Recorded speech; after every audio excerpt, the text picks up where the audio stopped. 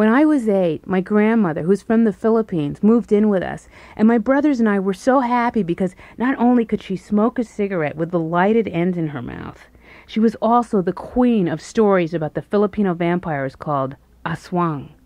She'd be cooking dinner and she'd just start talking about them.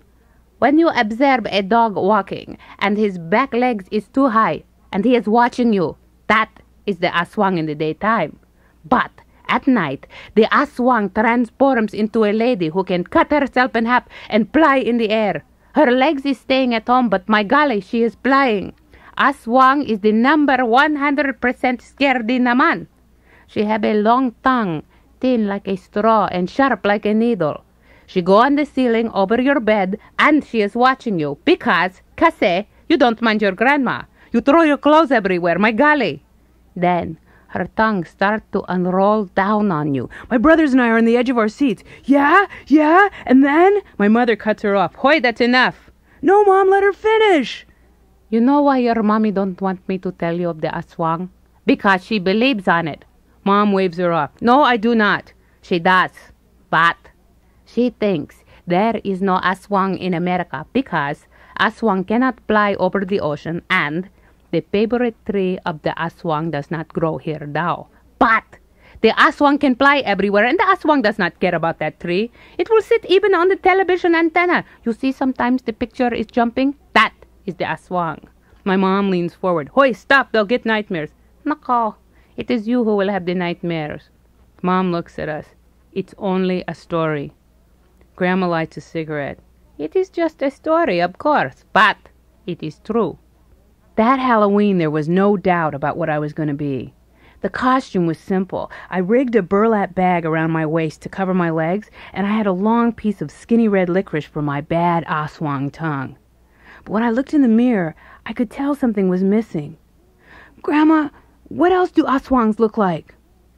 My grandma's looking at me through a cloud of smoke. Nako, don't, Lynda. Be careful. The real aswang could get mad at you. Come on, Grandma, there's no real aswang. She looks serious. Well, anyway, I'm just telling you. That was the night I learned that you should always listen to a woman who can hold a live coal in her mouth. When I woke up Halloween morning, the walls looked like they were breathing and I had a fever of a 103. Grandma, Grandma, the aswang got me. My mother bends over me. You have the flu, Lynda. It has nothing to do with the aswang. Grandma touches my forehead. Yes, darling, don't worry about the aswang because, anyway, it is daytime. Right now, the aswang is a dog. I spend the day on the couch drinking 7 Up and shivering under blankets. I missed the school Halloween party. My brother Michael told me about it. The sixth graders built this taped up box thing where you stick your hands in and feel a dead guy's brains and eyeballs and hair. The brains was spaghetti, the eyeballs was grapes, and the hair, I think, was hair. So you come in trick or treating? I sit up. Mom, guess what? I'm better. You stay right there. That was the only night I ever missed trick or treating. The night of the aswang. It's the flu, my mother says. My grandma nods. Yes, and it's better inside anyway because the aswangs is really flying on this night.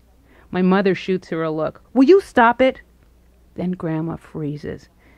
She sits there with fire in her mouth, smoke coming out of her nose, and her eyes glued to the picture window.